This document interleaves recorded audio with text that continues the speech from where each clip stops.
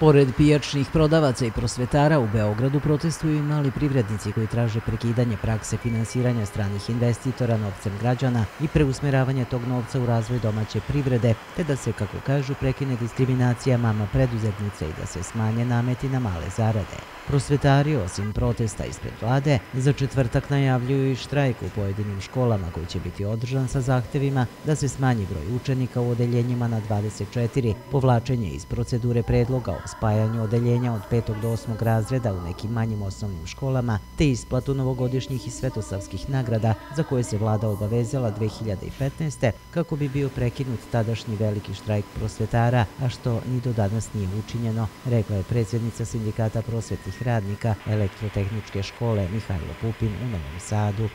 Štrajk se sprovodi tako što članovi Unije izlaze sa časa posle 30 minuta, odnosno imamo skraćene časove u školama.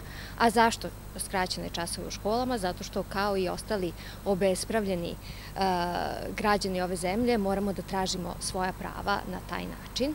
Idu izbori i nadamo se da će nas vlada čuti. Unija sindikata prosvetnih radnika traži i da odnos plata bude 1 naprama 2 naprama 3. Šta to znači? Da naše tetkice, odnosno pomoćni radnici, imaju zagarantovani minimalac, da naši administrativni radnici, koji verovali ili ne takođe primaju minimalac, imaju e, minimalac puta dva, odnosno duplo više, a da e, profesori imaju tri puta više, odnosno minimalac puta tri.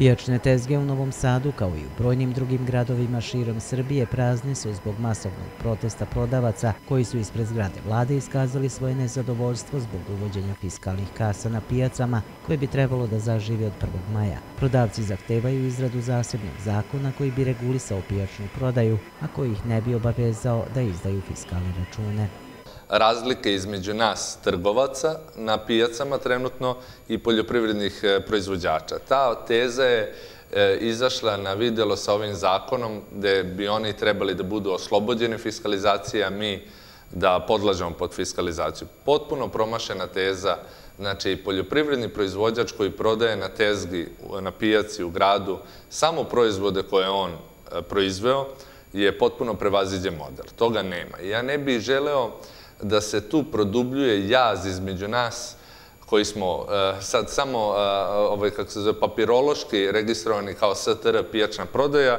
i njih koji su registrovani kao poljoprivredni proizvođači. Mislim da bi tu država trebala umjesto da pravi da pravi jaz između nas, da napravi pojednostavljenje sa jednim statusom pijačnog prodavca.